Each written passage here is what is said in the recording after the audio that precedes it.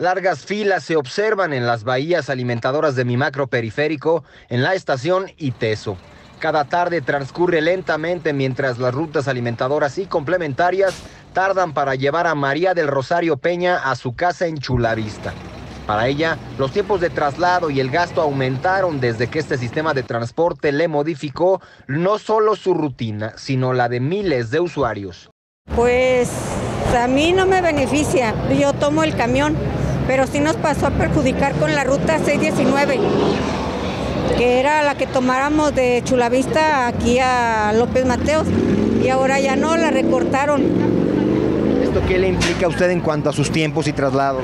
Pues sí, nos implica porque haga de cuenta que tomamos el camión ahí en Chulavista y ahora pues no, no, le recortaron de Chulavista el tren y de aquí del tren tienes que pagar otro para López Mateos. Pues Hace unos meses en la estación Iteso se reportaba una gran cantidad de usuarios que obstaculizaban a los automovilistas dado el pequeño espacio peatonal para esperar mientras se aborda la ruta alimentadora. Hoy las cosas cambiaron.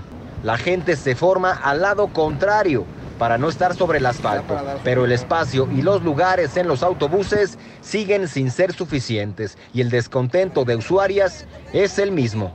Pues la verdad a mí sí se me hace bien pésimo pasa es que de hecho están bien chiquitos los camioncitos y este, van bien llenísimos, o sea, la gente no, no cabe, no, no, no, no, no, está peor que el 380 la verdad. Pero la verdad este, van bien llenísimos los camiones.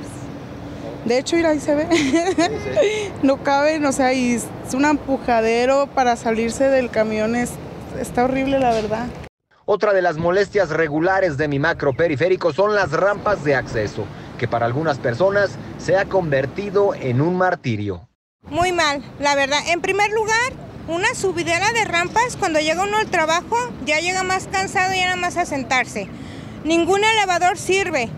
Uno o dos son los que sirven. Nos quitaron las rutas del periférico, gastamos más porque tardan bien mucho en pasar, porque este a veces va bien lleno va el apretadero de gente peor que ni en el 380, o sea que no sirve para nada, la verdad.